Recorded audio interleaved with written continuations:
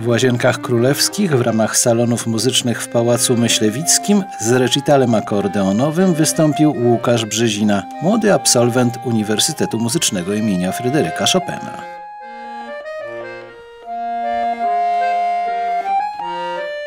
To chwilowo ostatni koncert w tym pałacu, gdyż przez kilka miesięcy do lipca będą tu prowadzone prace remontowo-konserwatorskie.